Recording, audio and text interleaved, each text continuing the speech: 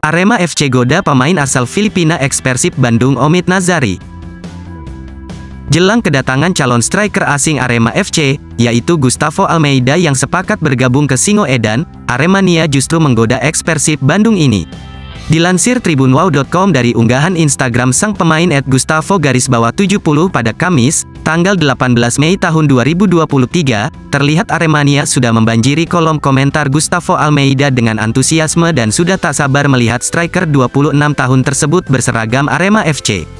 Namun, di unggahan Instagram Gustavo Almeida tersebut, terdapat ekspersip Bandung, yaitu Omid Nazari yang ikut mengomentari unggahan sang pemain yang sedang berlibur di Florida, Amerika Serikat tersebut. Diketahui, Omid Nazari dan Gustavo Almeida memang pernah menjadi rekan satu tim, tepatnya di Negeri 9 FC pada musim 2021-2022 lalu.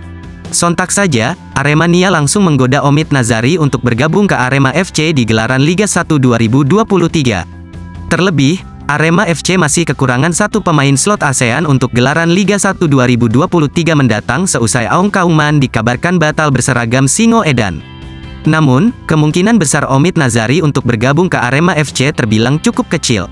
Melirik dari Transfermarkt, Omid Nazari masih berseragam Terengganu FC di Liga Malaysia 2023 ini.